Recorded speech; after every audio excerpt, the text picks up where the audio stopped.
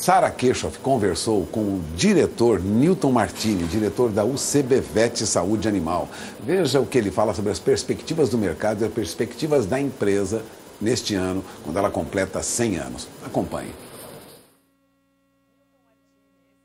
O CBVET completou seus 100 anos e também esse ano o Brasil viveu a Operação Carne Fraca e outros problemas na pecuária.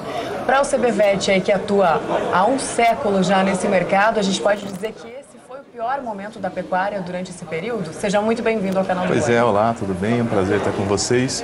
Realmente, nós estamos aqui representando uma indústria que está completando 100 anos e, como você disse, né, estamos, passamos recentemente por uma crise, mas nós já passamos por crises bem mais é, agressivas do que essa, como duas guerras mundiais, crise do petróleo.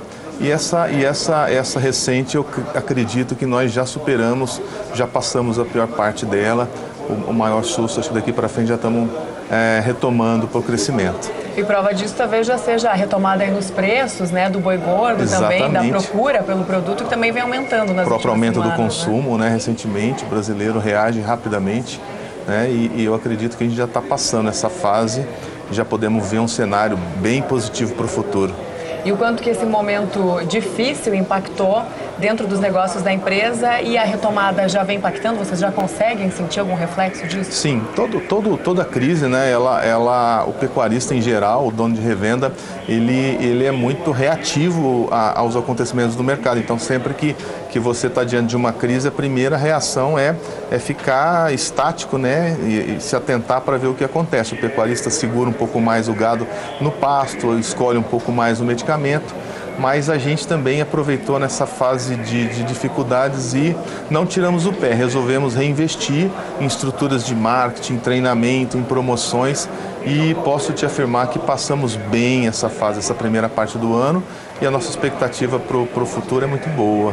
A expectativa, inclusive, é de um crescimento de 15%? Exatamente, é a gente tem essa previsão, é um, é um crescimento arrojado que a gente está programando, né, prevendo para esse ano. Estamos bem confiantes nesse resultado. Quais são os principais desafios aí para conseguir chegar de fato nesse resultado? Os principais desafios hoje no Brasil são é, a logística e a capacitação da equipe para você primeiro levar esse produto para o Brasil inteiro, né? Está cada vez mais difícil. O Brasil é um país continental. E, e, no nosso caso, a gente está apostando muito na capacitação da equipe para poder é, disputar, junto com as principais empresas que atuam no Brasil, um espaço cada vez mais acirrado né, junto ao pecuarista. E falando justamente na capacitação, a CBVET ela já trabalha com a universidade da empresa, né? E que agora está, inclusive, trazendo uma nova ferramenta. Como é que funciona? Exatamente. Nós temos uma universidade corporativa, que é a Universidade UCBVET, que é um projeto já de algum tempo, que ele nasceu para levar conhecimento técnico aos nossos colaboradores e, e, também dos produtos. E agora, com a aquisição de uma plataforma EAD, nós estamos lançando a partir de agosto a extensão desse projeto para todos os nossos parceiros, levando conhecimento a qualquer lugar do Brasil e do mundo, inclusive, porque a gente também exporta um pouquinho. Certo. Newton, e um dos outros, um outro carro-chefe da empresa é a questão da ocitocina para o gado leiteiro, que estimula a produção do leite sem o bezerro ao pé. De que forma que isso acontece? Como que é esse estímulo? Isso. Uh, a ocitocina no gado é um hormônio natural dele, né? Então nós temos a ocitocina sintética, no caso a nossa, a nossa marca é a ocitocina forte UCB. Uh, é um produto que ele estimula o animal a liberar o leite que ele já tem produzido em si sem a necessidade do bezerro ao pé. Isso acaba trazendo diversos benefícios para o pecuarista de leite. E, e, e, boas consequências também. Vocês conseguem estimar a produtividade leiteira assim, com esse, esse estímulo, incentivo? Um animal cruzado, ele com a utilização de, de um hormônio à base de ostocina, ele chega a produzir ou a liberar quase 10% a mais de leite. 10%, e isso com certeza faz uma, uma diferença muito grande no fim do mês, né? Faz sim, faz sim, uma diferença interessante. Qual outro carro-chefe que vocês trabalham hoje e que vem fazendo diferença também no mercado? É. A UCBVET, ela tem marcas extremamente tradicionais e muito conhecidas. Hoje, é, Placentina é um dos produtos mais conhecidos da nossa empresa.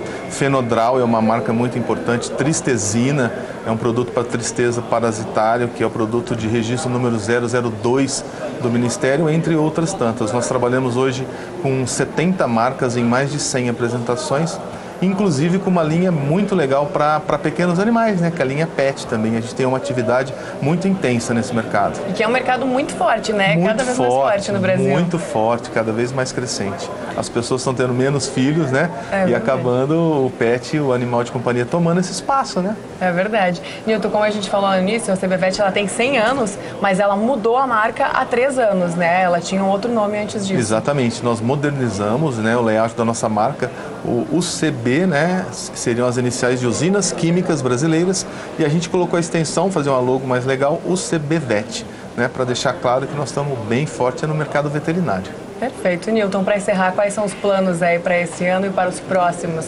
já colocados aí nas metas da empresa? Para esse ano, a CBVET está consolidando uma das suas joint ventures, que é a Global Gin. É uma, é uma joint venture que nós temos com uma empresa norte-americana, que nós criamos uma empresa para comercializar, produzir eh, produtos de IATF, produtos para reprodução. A gente está consolidando essa marca. E para o ano que vem a gente tem vários lançamentos na linha de pecuária leiteira e alguma coisa também na linha de pequenos animais. Tá certo, Nilton. Muito obrigada pela sua participação. Obrigado, eu que agradeço. É um prazer estar aqui com vocês. Perfeito. Esse foi Nilton Martini, diretor da empresa UCBVET, e nós voltamos ao programa.